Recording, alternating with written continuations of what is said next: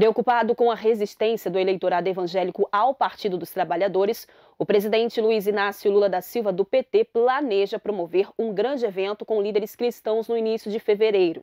A informação foi divulgada pela coluna de Rosian Kennedy, do jornal O Estado de São Paulo. Um dos encarregados dessa missão é o ministro-chefe da Advocacia Geral da União, Jorge Messias, que frequenta a Igreja Batista.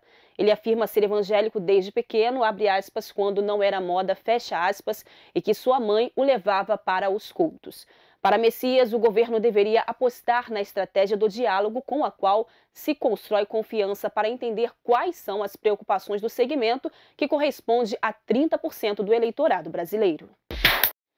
Após quase um ano dos atos de 8 de janeiro em Brasília, o Supremo Tribunal Federal manteve a prisão de 66 indivíduos das mais de 2 mil pessoas detidas por causa do ocorrido. Dentre os reclusos, oito já foram condenados pelo STF, 33 foram denunciados como executores dos crimes praticados e, a pedido da Procuradoria-Geral da República, 25 pessoas seguem presas paulatinamente foram concedidas diversas liberdades provisórias.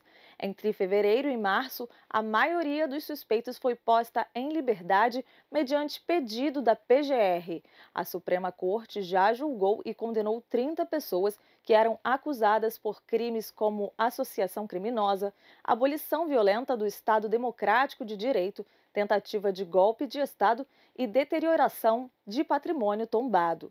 Ainda faltam 200 denunciados para serem julgados. O empresário Alexandre Correia pediu nesta quarta-feira a prisão em flagrante da apresentadora Ana Hickman em até 24 horas por alienação parental. De acordo com ele, a comunicadora descumpriu uma determinação judicial ao impedir que o filho Alezinho, de 9 anos, passe parte das férias com ele. De acordo com determinação da Justiça, Alexandre tem direito a ver o filho às quartas-feiras, em finais de semanas alternados e também nas férias do mês de janeiro. O documento obtido pelo jornal O Globo afirma que Hickman deveria entregar o menino aos avós paternos para que ele ficasse com o pai de 3 a 10 de janeiro. Entretanto, ela o teria entregado apenas para um rápido encontro para um lanche no final da tarde, sob a justificativa de que iria levá-lo para viajar para a praia com os amigos. Alexandre conta que ligou então para a polícia e o conselho tutelar, mas não conseguiu contato. Uma juíza de Las Vegas, nos Estados Unidos, foi agredida por um réu enquanto proferia uma sentença contra ele em uma audiência realizada nesta quarta-feira.